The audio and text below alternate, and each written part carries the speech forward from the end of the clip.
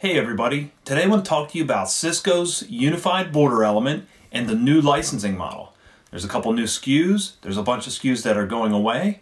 I want to show you the differences in these new SKUs and talk about the features that they enable. Let's dive into CCW and check out the SKUs, and as we go through that, I'll talk about the actual functionality as well. To best explain the new Unified Communications licensing model for Cube, I figured why not configure a Unified Communications oriented router.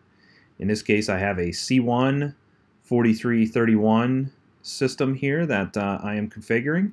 As you can see, I've selected the Unified Communications option under iOS feature licenses. Up to that point, that's probably what you would expect to see. But then I have my options broken out on the right-hand side here. As you can see, there's CME, SRST, stuff we're used to seeing, and then there's the cube option. And there's also a classic cube option. Now, classic cube is the way that you've ordered licenses in the past. These are just blanket licenses and they come in either 5s, 25s, or 100 packs. In the new model, you'll notice that we actually get to key in the quantity uh, and the price is per license. Now, we need to understand what each of these licenses does, uh, and I will actually step you through that right now. So first of all, cube-t you can think of as cube trunking or a trunk license. This is one trunk session license, and this is what you would use when interfacing with a service provider, right? Perhaps you have a service provider who has um, offered you a SIP trunk of uh, 100 active calls. You would get 100 active sessions in this cube license. So cube-t-standard basically.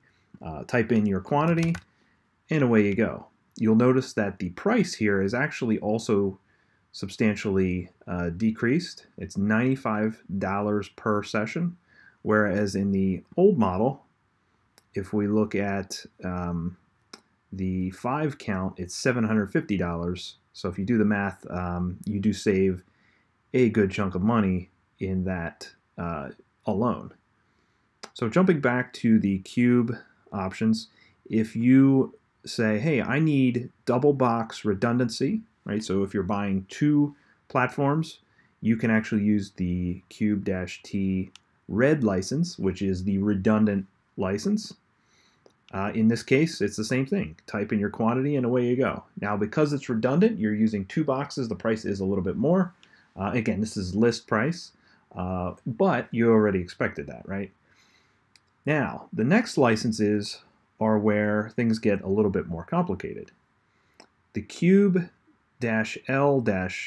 and cube-L-standard are the line side licenses. Now, as you can see on screen here, I have a diagram of when you would use this. This is kind of, um, you know, a little bit of a, of a reverse of what you're used to seeing, and that is that um, typically, you know, a service provider is offering us a SIP trunk. We have a PBX on-premise, you know, Cisco Unified Communications Manager or otherwise, and our phones are directly registered to the Unified Communications Manager or the on-premise PBX.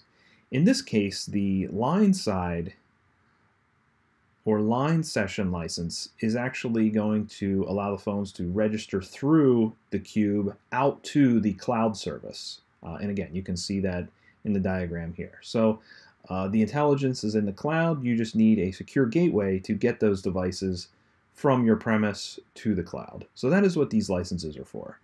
Uh, and you can do, again, these both in a redundant fashion or an individual fashion as you may be familiar with from the past.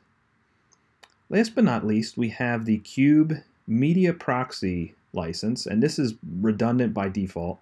This license, uh, as you can see in the diagram on screen, this is for a new feature that essentially allows Cube to be used as a media proxy. And what this is for is if you have multiple recording points. So currently, Cube network-based recording only allows you to fork the call to a single recording service uh, in this instance, you would, uh, or in the diagram here, you would actually fork the call at the gateway, add a device that's licensed with the cube-t licenses.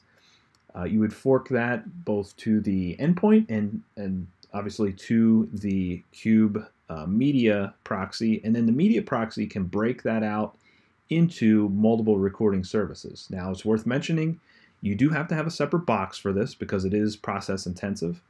But uh, but yeah, there you can see it in the diagram. That is what this license is for. Now you would be again using a box that is dedicated to this, uh, and likewise you would be licensing you know per session. So if your trunk gateway services you know 5,000 calls, but there's only you know 250 of those that actually you know recording applies to, you know you can license your media proxy device appropriately.